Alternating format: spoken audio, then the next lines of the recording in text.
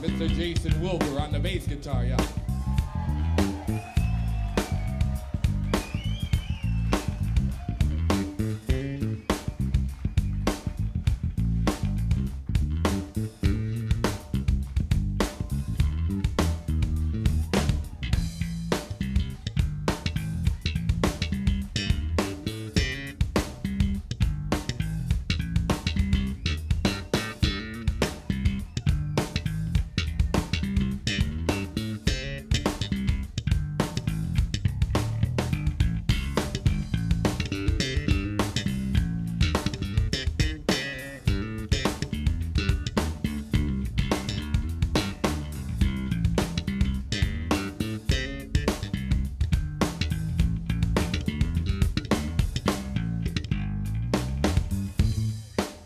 Mm-hmm.